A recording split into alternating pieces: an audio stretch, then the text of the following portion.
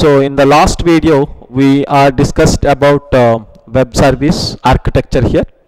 So now again we will discuss some high level points from the web service architecture. So now here as we discussed um, in the previous video so now this is your web service here this is your web service here and this is your client application here this is your client application here so assuming here I want to develop this web services using Java language here.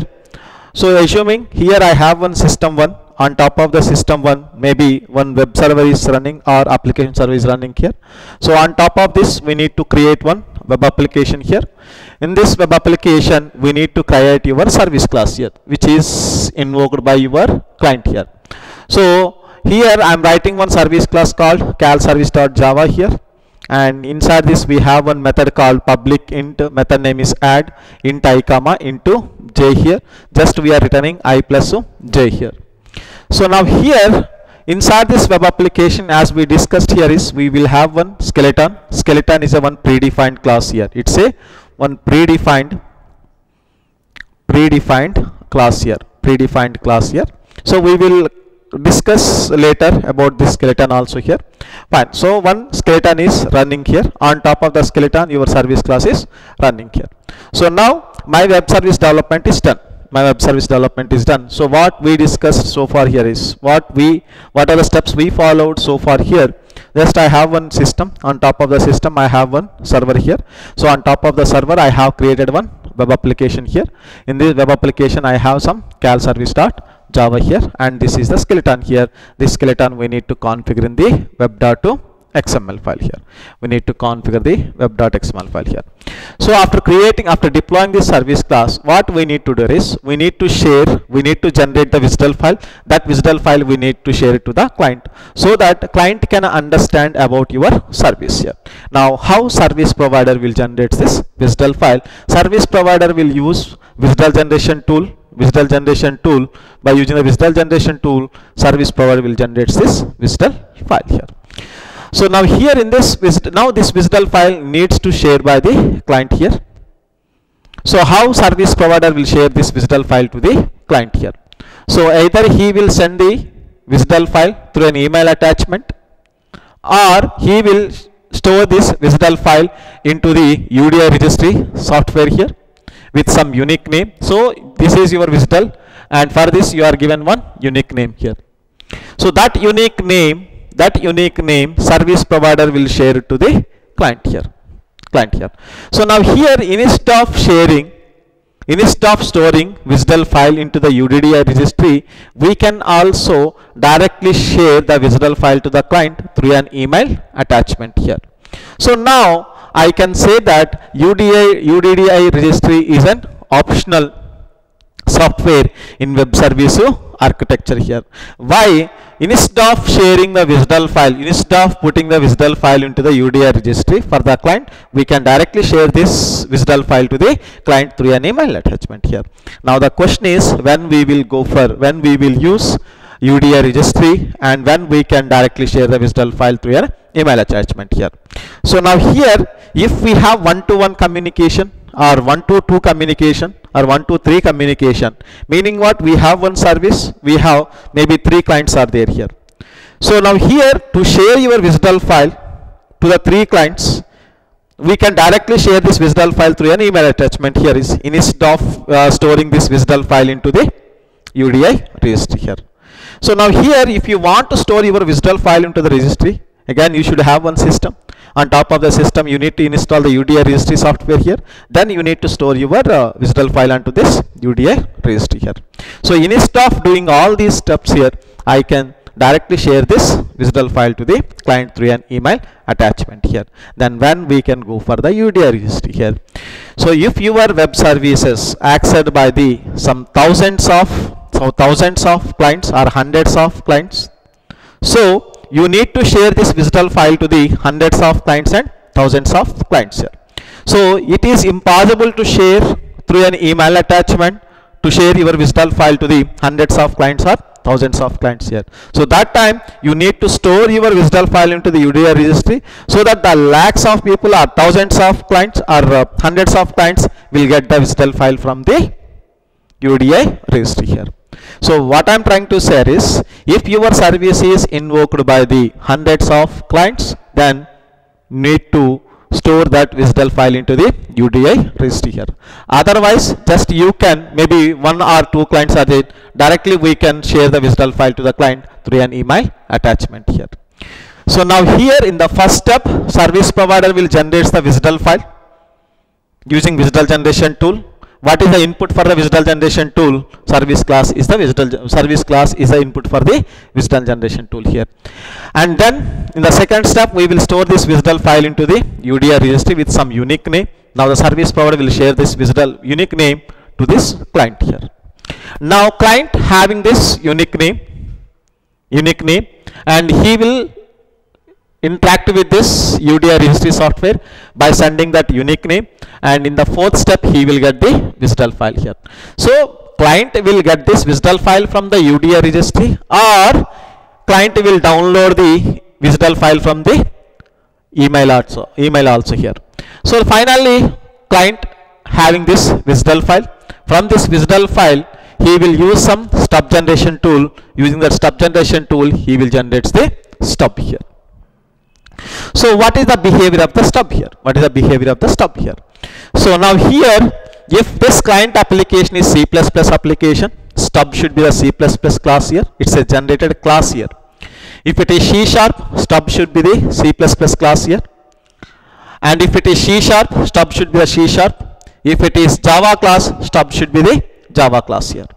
So this stub is depends on this client to application here.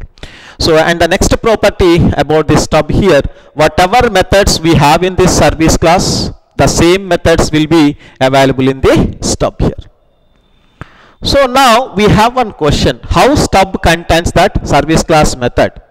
Who generated this stub here is stub generation tool. How stub generation tool knows whatever the methods we have in the cal service? Because already that class details are available in the WSDL file. So that from this WSDL file, it is generating the stub. So that whatever methods we have in the WSDL file, the same methods will be available in the stub also here. So now here we have something called public int method name is add here int i comma int j here int i comma int j here. But don't expected whatever the implementation we have here the don't expect the same method implementation here here. We have the different two implementation here. So after generating this stub by the stub generation tool by the client client in the client application client will create that stub object here. On top of the stub object he will invokes that method here add method. Whatever the method he wants to invoke from the service class the same method will be invoked by the client on this stub object here. So as we know that in our case client application is C++ here, stub is a C++ here. So C++ class can create the C++ class object here. So if it is Java, stub is a Java file and the Java class can create the Java object here.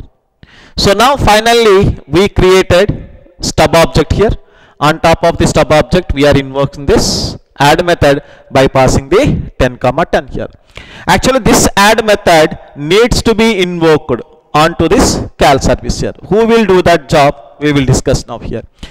Now stub will receive that method call method call and it will store that method call details onto this soap request here. It's an xml document here. The soap request is an xml document here in this SOAP request, we have name of the method, which method we want to invoke here, that method, and parameter values and parameter types also here. So this method, this SOAP request needs to be sent to the service location here. So who will do that job? HTTP protocol will do that job here. So HTTP protocol is a transportation protocol. It will move something from one location to the another location. In our web service architecture, HTTP protocol will move the SOAP request from client location to the service location here. That is the eighth step here.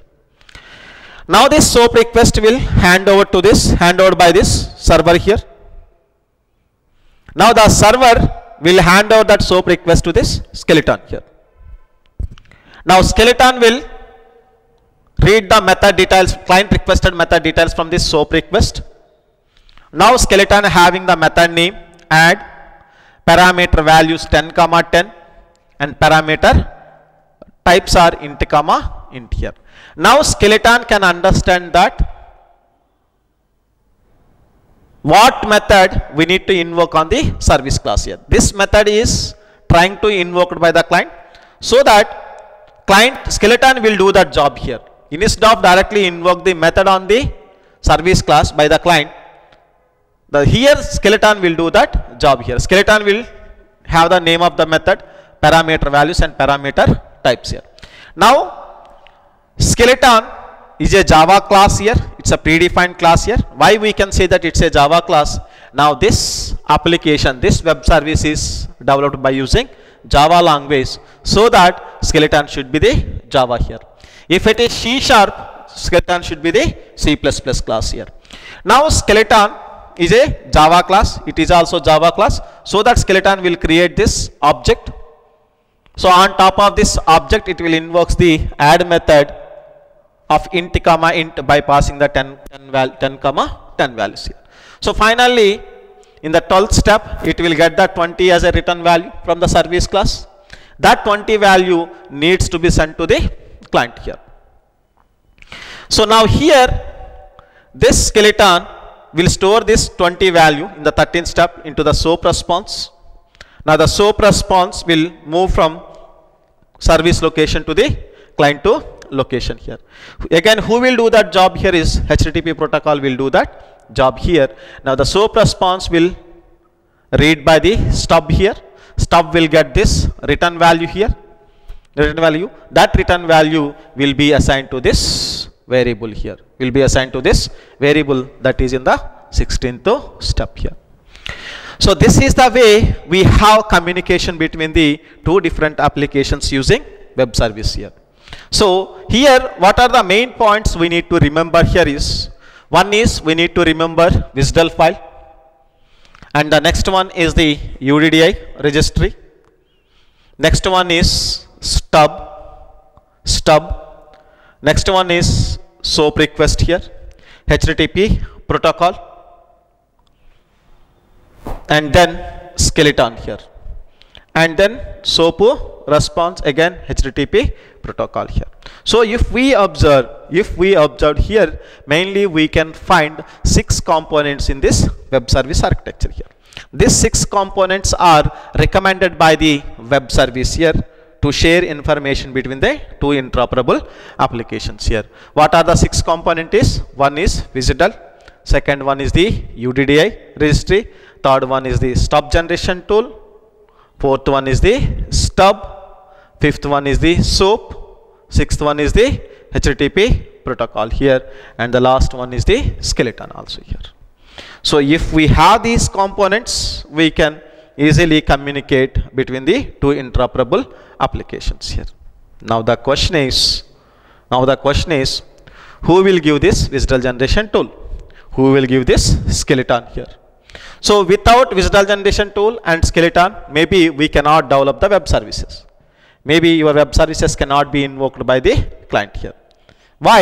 Because if you don't imagine, if you don't have the WSDL generation tool, maybe you cannot generate the WSDL file here. If you don't have the skeleton in your web service here, who will read the SOAP request? Who will invoke the client requested method on the service class? And who will prepare the SOAP response here? So meaning what? If we don't have the skeleton and if we don't have the WSDL generation tool, maybe we cannot develop this web services here. So who will give this? Who will give this WSDL generation tool and the skeleton here? Sir, I want to develop this web services using Java language, using Java language. So Java language is given by the Sun Microsystem. So that Sun Microsystem should have the responsibility to provide WSDL generation tool and the skeleton here because we are developing this web services using Java language here. Now I want to develop this web services using any one of the Microsoft technologies here. So that Microsoft should provide this WSDL generation tool and the skeleton here. No, I am developing this web services using PHP here. So the PHP should provide this WSDL generation tool and the skeleton here. So here we are Java developers here. We are Java developers here. So Sun Microsystem should provide. We are Java developers. We want to develop this web services using Java language. So that Sun Microsystem should provide WSDL generation tool and the skeleton here. So what is this? These are the predefined classes here. These two are the predefined classes here.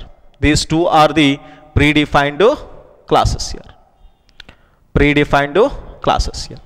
So if these two classes are given by the Sun Microsystem, so these class, two classes are the Java files here, Java classes here. If these two classes are given by the Microsoft, these two classes are the Microsoft classes here. If it is PHP, these two classes are the PHP classes here. Now coming to the client here, coming to the client here. Sometimes we have the requirement, we need to develop the client application here. To develop the client application, what is the require, what is mainly we need here is stub here. Actually stub is not a predefined class. You cannot directly use that here is. You need to generate from the WSDL file here. To generate the stub from the WSDL file, we require the WSDL generation tool here. Here visual generation tool is a predefined class here. WSDL generation tool is a predefined class here. Predefined class here. So if this client application developed by using C++, this stub generation tool should be the C++ class. So that stub generation tool will generate the stub in the form of C++ only here. Meaning what stub should be the C++ class here. If it is Java, if the client application is Java, stub generation tool should be the Java class here. That stub generation tool will generate the stub in the form of the Java here. Then who is provide this stub generation tool here? Now here I am developing the client application using C++. So C++ should be provide this predefined class here. If it is Java, Java should Sun Microsystem should provide this stub generation tool here. So meaning what? We are Java developers. Maybe we can develop the web services using Java language. Maybe we can develop the web service client using Java language here. If you are developing the web services using Java language, you require WSDL generation tool and the skeleton here. If you develop the web service client, you require the stub generation tool here as we discussed here is these tools this stub generation tool WSDL generation tool and skeleton should be provided by the sun micro system here that classes are called as a we can say that java web service apis here java web service apis here. So sun has provided four apis here. Sun has provided four apis here. One is jax rpc Next one is the JAX WS, JAX M, last one is the JAX RS here. So now we will going to discuss about this Java Web Service APIs here. So make sure that the skeleton, skeleton WSDL generation tool should be provided by the Java and the client side stub generation tool should be provided by the Sun Microsystem here. How they are provided in the form of the web service APIs here. So how many Java web service APIs we have here is four Java web service APIs we have in our in our architecture.